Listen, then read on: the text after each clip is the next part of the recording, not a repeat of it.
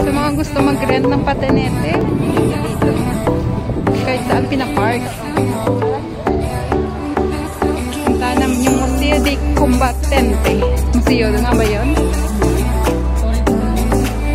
Ah, sa Torre de Belém daw muna. Belém, Belém, Torre de Belém.